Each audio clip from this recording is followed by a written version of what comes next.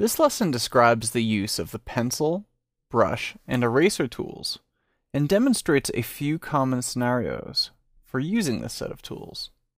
So here I have a document open, and I'm going to use some of these tools to demonstrate how they can be used upon the stage. So firstly, we have the pencil tool.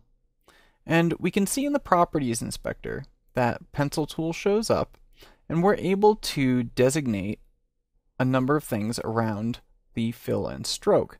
There is no fill to the pencil tool because the pencil tool only draws out a stroke. But we can control all aspects of that stroke, including the color, the width, what the style is, so solid, dashed, etc.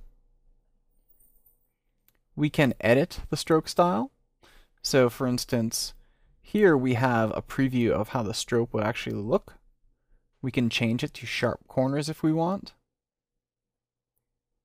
And we can choose other stroke types from this dropdown. So if I use my pencil and I just make a little scribble, we can see that it automatically comes out as a stroke. I can go down and change this to dashed. And we see how the dashes work. If I edit dashed, we can see the spacing and the dash. We can actually move these things apart and we get a nice little preview right there for all those things. Let's take that down a bit. And we can see how that works. We can also choose dotted, ragged, stippled, or hatched. So we have a lot of control over the stroke, width, color, and style using these controls. If using something like solid, we get even more controls. So we're able to define scaling.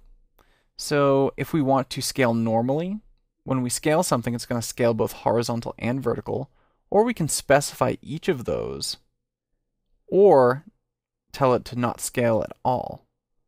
We can also provide stroke hints, and basically it tells us right there in the tooltip that it's going to prevent any uh, blurry lines from happening. So you don't really notice it if we zoom in here, you won't notice it so much in authoring, but you can notice it quite a bit when we go into actually viewing the thing and we compile our SWF. That sort of blurriness is more noticeable. We can change the cap from none or to round or square. And that's going to change how the ends of our stroke show up. We can also change the joints something like round. So if I make the cap round and the join round, and then I draw something like this out, and let's zoom in again and pan over. So we can see it makes a really nice line for us. If we use our selection tool and select that stroke, we can also modify the stroke. So if we make it bigger, we can actually see how that stroke works as far as the cap and so forth. So here's none. So it just cuts it off. And then we have square, which adds a little square cap to the end. And we can also see the join. If we choose miter, it cuts it off. And if we choose bevel, we get that sort of a thing. And if we choose miter, we can actually extend that a certain number of pixels so that it's not cut off at all. So we get this nice zigzag line. Going back to our pencil tool, so zooming back out to 100%, let's actually have a look at the brush tool. So when I toggle the brush tool on, I'm able to select in the properties inspector no stroke but only fill color. So let's choose a different color for the fill, maybe this orange yellow color here. And as you see, all of these controls that we just went over for pencil are all grayed out. We're not able to actually use any of those. However, we can use smoothing down here. And by default, it's set to 50. And it'll basically try to correct the stroke as we draw it and try to make it smoother or not as smooth. So for instance, if we bring this down to zero and I start drawing something on the pasteboard, and actually let's go in and make this stroke bigger. So let's pull our controls, our tools out here so that we're able to do a bit more with them. I'm going to dock them up here because from here we can change a lot of the aspects of our brush. So especially the brush size, that's going to let us draw a nice big stroke. We also have the brush shape that we can change. And we can use pressure and tilt. So right now I'm actually using a, a Wacom Intuos 4 as I'm going through these lessons. So this will allow me to vary the width by using pressure. So that was using smoothing of zero here. If I go and pump smoothing all the way up to 100, or close to 100 anyway, we can see how this is going to differ. So we can see here that what has happened is when we have smoothing down to zero, it more or less just paints wherever we paint.